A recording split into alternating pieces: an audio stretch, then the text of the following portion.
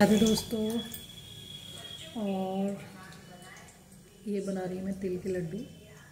तिल के लड्डू में मैंने इसमें बनाया है मूंगफली, तिल और गुड़ और आज एकादशी है वैसे भी। तो ठंड बहुत हो रही है तो इसमें थोड़ी इलायची भी मैंने डाली टेस्ट के लिए। तो ये बना रही हूँ मैं तिल, गुड़ के लड्डू। देखते हैं कैसे बनते हैं। फ़र्स्ट टाइम बनाए हैं मैंने। तो प्रभु का दिन है। प्रभु का भोग अच्छा ही बनना चाहिए। तो बस लगी हुई हूँ। तो अभी जैसे बना लूँ मैं थोड़ा सा घी डाल दिया है इसमें, क्योंकि थोड़ा बंद नहीं रहता ये।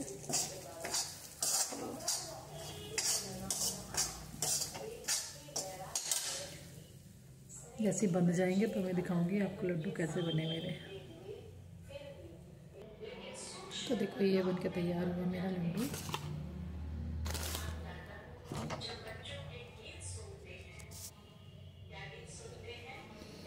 इसको थोड़ा सा मैश ना हाथ हाथ में ही बन पा रहा है। वैसे तो देखने में सूखा सूखा लग रहा था, लेकिन इसे क्योंकि थोड़ा नारियल का बुरादा भी है तो उस वजह से शायद थोड़ा सा सूखापन आ रहा है इसमें।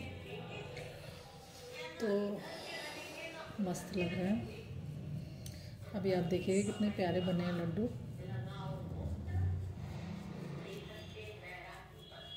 चिकना हो गया। इसमें थोड़ा सा मैंने घी भी डाला था और इसको मैं ऐसे बनाती जा रही तो ये चिकना होता जा रहा है। देखो, कितना प्यारा लड्डू है। खाना है आपको? तो खाना हो तो बिल्कुल मैसेज कीजिएगा।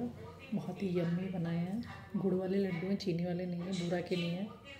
सर्दियों में तिल, गुड़, मूंगफली, गोले के लड्डू मिल जाए तो मस्त मज़ा ही आएगा। तो तो गाइस मैंने बनाए हैं। और मेरे जी का भोग भी है। तो बहुत ही प्यारे लड्डू हैं। जिसको खाने हो तो कमेंट ज़रूर कीजिएगा। तो आज संडे का दिन। विद लड्डू। Bye bye